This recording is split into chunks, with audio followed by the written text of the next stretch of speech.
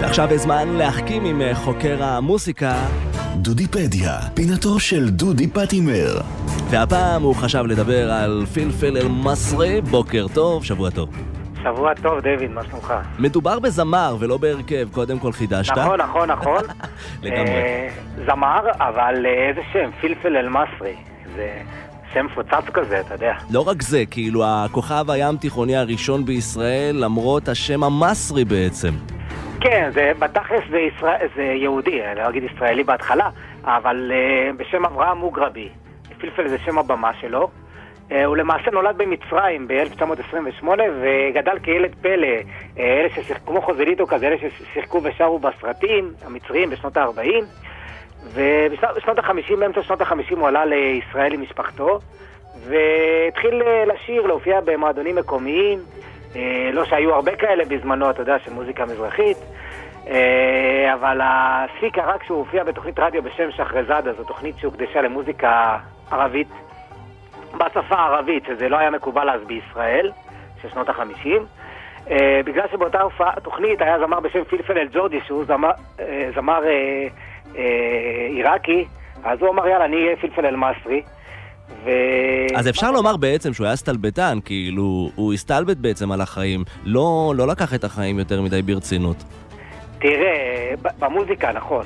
כי כל השירים שלו אה, שמביעים את האהבה והקשיים אה, של העולים החדשים בישראל של אז, למעשה הכל הומור. הוא צוחק, הוא הלך, יש שיר שהוא הלך, נגיד בחופש השנתי, הוא הלך לחוף היער, התחיל עם בחורה, איזה בחורה אחת, ופתאום בא החבר שלה וזרק אותו מהחלון. אתה מבין? כל הדברים כאלה אתה מלא, מלא הומוריסטים, לא לקחו אותו ברצינות. אז מה הפך אותו בכל זאת לפורץ דרך? הכניסו אותו הרי לשורת המיינסטרים של המוסיקה נכון, הישראלית אז באותן שנים. הוא היה הראשון שנכנס למיינסטרים, אפילו לפני ג'ו אמר. אה, מה שהפך אותו זה שלקחו אותו כבדרן כזה, כי הוא שר שירים אה, קליטיים עם עברית קלוקט, אתה יודע, אה, במקום ו הוא אמר וואה. כאילו, וואני, כאילו במבטא ערבי כזה. שזה מתאים לעיראקים דווקא, לא למסרים, נכון, אבל אוקיי. לחלוטין. אוקיי. ההשראה שלו עיראקית, אמרת. אוקיי. נכון, כן. מצרית עיראקית, והיה לו מוזיקה עשירה, תזמורת עשירה של, אה, אתה יודע, אה, סטייל זוזו מוסה כזה. והתהילה שלו נמשכה אולי שלוש-ארבע שנים. אחרי זה כבר, אה, אתה יודע, בא רוקנרול ובאו עוד זמרים מזרחיים והוא דח. הוא חזר בתשובה עם השנים.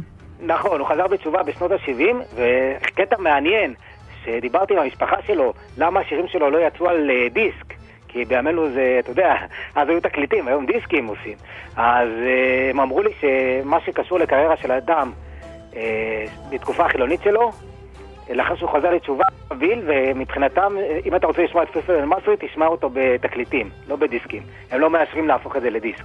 טוב, אז אנחנו נשמע מתקליטים, אם אין ברירה, אין ברירה. נכון, נכון. אנחנו נשמע את השיר הכי גדול שלו, הלהיט הכי ענק, הכל בתשלומים. שזה השיר המזוהה איתו ביותר, ואפילו זאב רווח ביצע אותו בטיפת מזל. נכון, בסרט הקולנוע הישראלי. בדיוק. אה, אותו פלפל אל-מסרי, אברהם מוגרבי, הספיק אה, לפתוח מסעדה, הקים בית כנסת, אפילו עבד בדואר ישראל. ובשנות ה-90 הוא נפטר.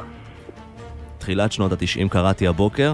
כן, לאחר מאבק במחלה, לצערנו. וניקח את הלהיט הכי גדול, אתה אומר, בתשלומים. הכל בתשלומים. אוקיי, אז אני אומר, התשלום על השיחה הזאת, אה, דודי פטימר, יגיע בתשלומים, נחלק את זה שווה בשווה. אחרי זה, כן, אחרי זה תשלח לי את החשבון. תודה, ידידי דודי. תודה לך, דבי.